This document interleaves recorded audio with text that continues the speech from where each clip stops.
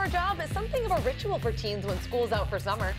But fewer teens are finding a job. Research from JP Morgan Chase shows only about a third of teens are working during the summer. About half of teens were in the workforce back in 1995. The same can be said in the 70s and 80s. So when I was thinking, did all of you have summer jobs? Uh, Mike, I'll start with you.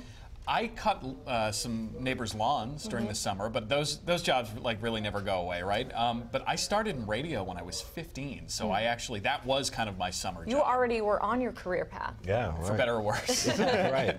Uh, I started right away uh, as soon as I could. My dad got me working uh, in one of the hospitals he was working in, so I was pushing stretchers, pushing wheelchairs, things like that. I remember wanting to earn my own money. And mm-hmm. very quickly, I went from babysitting to working. I think at a Baskin Robbins may have been my first official job at 15 years old. But I also think about the skills that I learned from those jobs. I mean, just having to communicate with people mm-hmm. and Yep. customers, uh, you know, skills with learning money and having to have that responsibility of a cash register was a big deal at 15. So research, researchers are saying that this can actually be a good thing, not having a summer job, because maybe teens are focusing on volunteering or maybe preparing for college. And I instantly thought of you, Kylie. You're someone who likes to mm-hmm. volunteer.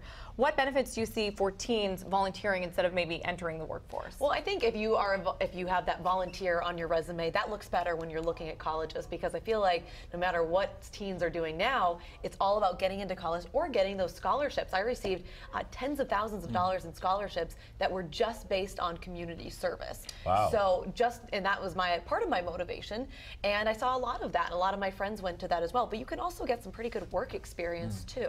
now, do you think there's more of an emphasis maybe on sports rather than a job? Uh, it seems to me that there are a lot more activities that kids are involved with these days than when I was in school. And so, yeah, I think maybe during the school year, they're focused on three different sports plus school. So maybe this summer they just want to sort of relax, or they're doing more sports. Yeah, Um, I, I think there is a lot of value in getting that first job. I mean, it's one of the first real times where, as a teenager, you're in an adult environment. You're interacting consistently with people in their 20s, or, oh my gosh, 30s, and you know you have to communicate at an adult level. And I think there's a lot of value in that. I mean, it got me as a shy teenager out of my shell a little bit and able to talk with older people, and that's helped me do this job. so, what skills were required to mow the lawn? Did you did you have to go through an interview process for that? Um, I think cheap, cheapest and most Yeah. reliable were the two. Show up. Yeah. Always available. I Right. love it. I mean, so part of this is that they're saying, okay, well, you know, teens are doing more of that, but also there aren't as many jobs. A little bit of that leftover from Yep. the recession. Not quite as many opportunities.